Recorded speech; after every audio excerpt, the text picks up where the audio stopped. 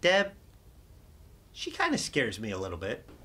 All right, guys, look, uh, we need some ideas to get some interaction going on with the listeners, some online stuff, some on the air stuff. Uh, anybody have anything? I love sandwiches. I'll ask them where like the dankest sandwich is. Perfect. That's exactly what I'm looking for. Perfect, Jack. I mean, Sandwich. Where is the best place to go on staycation? staycations are awesome. Great idea. Deb, you got anything maybe or? Yeah. Where's the best place to hide a body?